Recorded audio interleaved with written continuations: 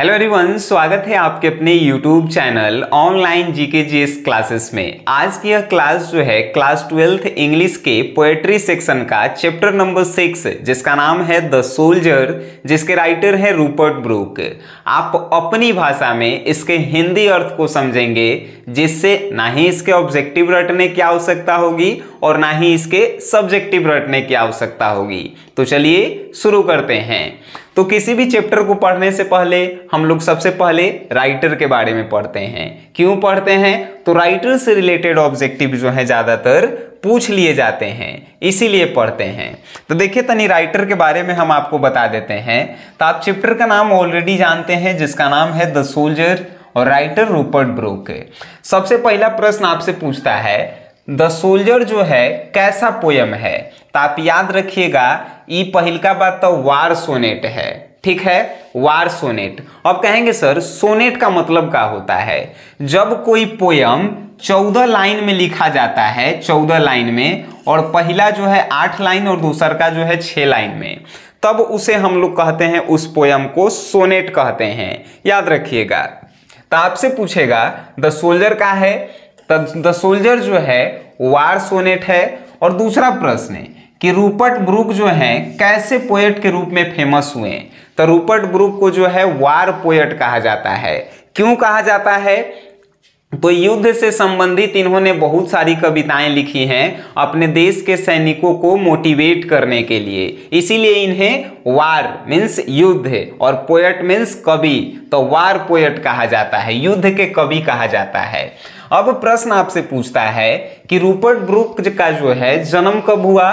तो आप याद रखेंगे, तीन अगस्त अठारह सौ सतासी को जो है, रग्बी कहाँ यूके में हुआ था। यूके केकरा कहल जाता है? तो आप ऑलरेडी जानते हैं यूनाइटेड किंगडम जो है अमेरिका को कहल जाता है, ठीक है? तो बॉर्न जो है, तीन अगस्त अठारह को रग्बी यूके में हुआ था। अब जो है डेड मीन्स इनका मृत्यु कब हुआ? तो मृत्यु जो है 23 अप्रैल 1915 में हुआ था। कब हुआ? 23 अप्रैल 1915 में और सेप्टिसेमिया सेप्टिसेमिया नामक एक बीमारी होता है। जिसमें जो है ब्लड ब्लड के कारण जो है ब्लड सर्कुलेशन जो है रुक जाता है सेप्टिसेमिया के कारण। तो सेप्टिसेमिया के कारण जो है इनका मृत्यु हुआ और कब हुआ था? 23 अप्रैल 1915 में। याद रखिएगा, जन्म कब हुआ? 3 अगस्त अठारह सौ सतासी को। अब जो है नेक्स्ट एगो कवि थे जिनका नाम था W B Yeats W B Yeats जो हैं इन रूपर्ट ब्रुक को जो है जानते हैं, क्या कहे थे? Handsome young man in England England में सबसे ज़्यादा जो है हैंडसम जो है जवान व्यक्ति कौन है? तो रूपर्ट ब्रुक है। कौन कहे थे? तो डब्ल्यू बी इट्स कहे थे। ये बात याद रखिएगा।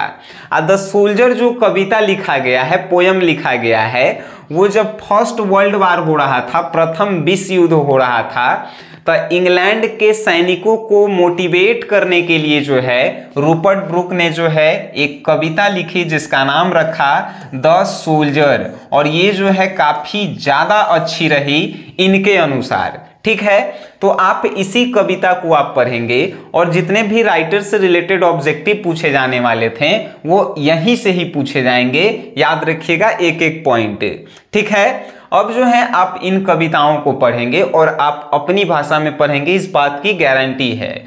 चलिए, यहाँ से हम लोग शुरू करते हैं। लिखल है if I should die think only this of me यदि मैं मर जाऊँ तो सिर्फ़ मेरे बारे में इतना ही सोचना। एक हिंदी है, यदि मैं मर जाऊँ तो मेरे बारे में बस इतना ही सोचना। That's there some corner of a foreign field कि जिस विदेशी फ़ील्ड में, यानी कि विदेशी ज़मीन पे, विदेशी ज़मीन के किसी कोना में मैं मरूँगा, वो कोना जो है that's that's is for ever England वो कोना जो है हमेशा के लिए इंग्लैंड का हो जाएगा। आइए फिर से समझते हैं, सर। लिखल है if I should I think only this of me यदि मैं मर जाऊँ तो मेरे बारे में इतना ही सोचना कौन कह रहा है? ये जो है मोटिवेट करने के लिए रूपर्ट ब्रुक जो है, सोल्जर के बारे में लिखे हैं और सोल्जर से कह रहे हैं कि आपको कुछ ज़्यादा नहीं सोचना है। और एक सोल्जर के रूप में ही जो है बता रहे हैं। मान के चलिए, आप एक सोल्जर हैं, सैनिक हैं। तो आप जो है, क्या कह रहे हैं? If I should die think only this of me कि यदि मैं मर जाऊँ, एक सैनिक कह रहा है कि यदि मैं मर जाऊँ तो मेरे बारे में बस इतना ही सोचना that's there some corner of a foreign field कि विदेशी जमी के जिस कोने में मैं मरूँगा that's is for ever England वह कोना जो है हमेशा के लिए किसका हो जाएगा? इंग्लैंड का हो जाएगा। अब क्यों होगा? आगे पढ़िए। That's shall be in that rich earth a richer dust concealed concealed अब देखिए इसका हिंदी का है। There shall be that rich earth और जिस धरती पे मैं मरूँगा, वह धरती जो है कीमत उसकी बढ़ जाएगी। There shall be in that rich earth और रीच और डस्ट कॉन्सिलेड कह रहा है कि जिस धरती पे जो है, मुझे दफनाया जाएगा कॉन्सिलेड मीन्स दफनाना, ठीक है? जिस धरती पे मुझे दफनाया जाएगा, वो धरती जो है, उसकी कीमत बढ़ जाएगी। फिर से आप समझिए, यदि मैं मर जाऊँ तो मेरे बारे में इतना ही सोचना कि विदेशी जमी के जिस कोने में मैं मरूँगा, वह कोना हमेशा के लिए इंग्लैंड का हो जाएगा और मेरी जो डेड बॉडी है, जहाँ पर भी दफनाया जाएगा, उस धरती का कीमत जो है, बढ़ जाएगा। आइए, a dust whom England bore. एक मैं जो हूँ, एक धूल का कण हूँ। मैं एक धूल हूँ। ए डस्ट मीन्स मैं एक धूल हूँ। हुम इंग्लैंड बोर जिसे इंग्लैंड ने जन्म दिया। बोर मीन्स जन्म दिया। इंग्लैंड ने आकार दिया। इंग्लैंड ने जो है जागरूकता उसमें, हम दी। Gave once her flower to love England ने मुझे प्यार करने के लिए एक फूल दिया हर वे टू रोम इंग्लैंड ने मुझे चलने के लिए अपनी रास्ते दिए. A body of England breathing a English air और इंग्लैंड ने मुझे शरीर दिया और इंग्लैंड ने मुझे सांस लेने के लिए हवाएँ दी। Washed by the river England ने अपनी नदियों से हमें जो है धोया blessed by sun of home और इंग्लैंड के सूर्य ने हमें जो है आशीर्वाद दिया। यहाँ पे जो है लेखक का कहना चाहता है, अब हम आपको पूरी जो है तनी मनी भाषा में आपको समझाते हैं। देखिए कैसे। एक सैनिक को जो है मोटिवेट करते हुए रूपर्ट ब्रुक लिख रहे हैं कि यदि आप मर जाएँ ठीक है? सैनिक को कह रहा है। और सैनिक से ही समझिए तो वो सैनिक के अपने बन के वो कह रहा है कि यदि मैं मर जाऊँ तो मेरे बारे में सिर्फ़ इतना ही सोचना कि जिस विदेशी जमी पे, विदेशी जमी के जिस कोने में मैं मरूँगा, वह कोना हमेशा के लिए इंग्लैंड का हो जाएगा और जहाँ पे हमारी डेड बॉडी जो है दफनाई जाएगी, वह जो है उस धरती का कीमत जो है और बढ़ जाएगा। एडस्ट ह्यूम, काहे उसका धरती का कीमत बढ़ जाएगा और चाहे काहे इंग्लैंड का वो धरती हो जाएगा तो मेरा जो शरीर का कण है वो किसने जन्म दिया? इंग्लैंड ने जन्म दिया। शरीर की आकृति किसने बनाई? इंग्लैंड ने बनाई। शरीर को जागरूक किसने किया? इंग्लैंड ने किया। शरीर को प्यार करने के लिए एक फूल किसने दिया? इंग्लैंड ने दिया। शरीर को चलने के लिए रास्ता किसने दिया? इंग्लैंड ने दिया। और इस शरीर जो है, इंग्लैंड ने दिया। शरीर को सांस लेने के लिए हवा किसने दी? इंग्लैंड ने दी। शरीर को नहलाने के लिए जो है इंग्लैंड की नदियाँ नहलवाई। और शरीर को जो है आशीर्वाद किसने दिया? तो इंग्लैंड के सूर्य ने दिया। जब इतना कुछ इंग्लैंड ने किया तो मैं जहाँ पर भी मरूँगा वो धरती जो है इंग्लैंड की ही हो जाएगी। ये बात कौन कह रहा है? सैनिक कह रहा है। ठीक है? अब जो है, अब आगे पढ़ेंगे आप। And think this heart all evil shed away और सोचना, विचारना, यह जो मेरा दिल है, उसमें जितनी भी बुराइयाँ हैं, वो सभी जो है धुल गई। अपनी जनता से जो है सैनिक कह रहा है, क्या कह रहा है? कि जब मैं मर जाऊँगा तो तुम सोचना या विचार करना, जो मेरे दिल के अंदर जो भी बुराइयाँ हैं, वो सभी जो हैं, खत्म हो गई, धुल गई। A pulse in the eternal mind no less gives somewhere back the thoughts by England given का कह रहा है, यहाँ पे सोचिए। मेरे अंदर जो शाश्वत मन है, जो सैनिक कह रहा है कि मेरे अंदर जो शाश्वत मन है, यानी कि मरता तो बॉडी है, मन तो ज़िंदा ही रहता है तो सैनिक मरने के बाद कह रहा है कि मेरे अंदर का जो शाश्वत मन है, वो तो कभी नहीं मरा है, वो तो अभी ज़िंदा है।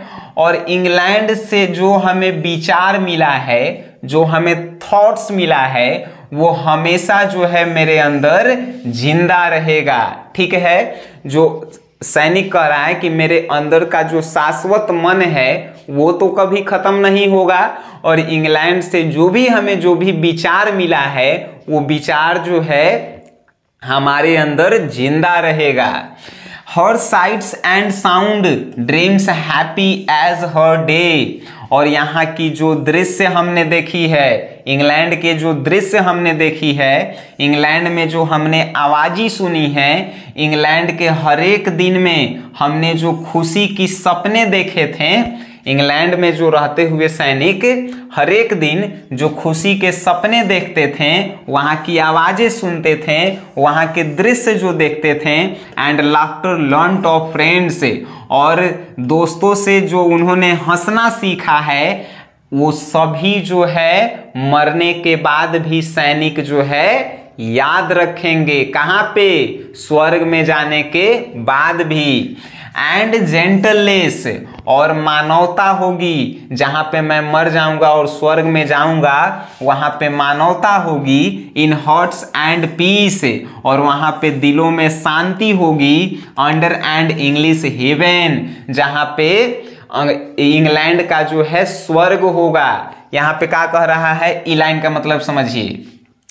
कह रहा है लेखक कि इंग्लैंड के स्वर्ग में मैं जहाँ पर रहूँगा, वहाँ पे दिलों में शांति होगी, वहाँ पे मानवता होगी। ठीक है? मरने के बाद काहे मानवता होगी?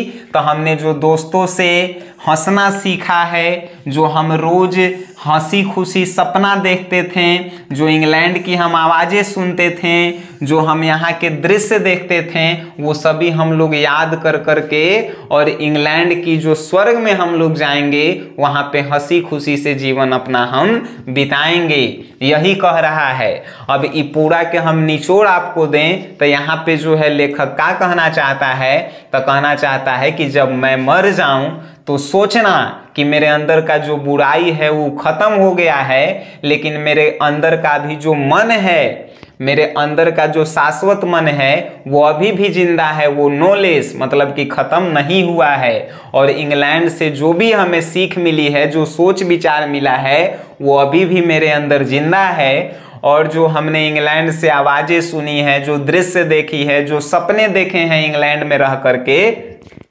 जो हमने दोस्तों से हंसना सीखा है, जो मानवता सीखा है, जो शांति सीखे हैं, वो स्वर्ग में जाने के बाद भी जो है, याद रहेगा। ठीक है? यही कहना चाहता था।